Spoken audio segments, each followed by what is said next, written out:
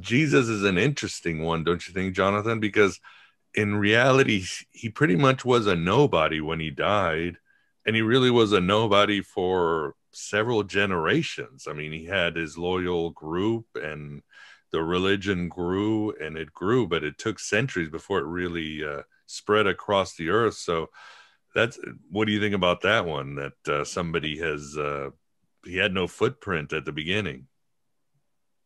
No, I agree. Uh, it's tragic, and I think a lot of his ethical teachings that uh, he spoke himself personally got twisted in the uh, not just the first few hundred years that following his life and death, but definitely uh, after the institutionalization of Catholicism uh, as a as a global force since then. Uh, I think his ethical teachings have are are all but lost on the ears of modern, the majority of modern Christians, even.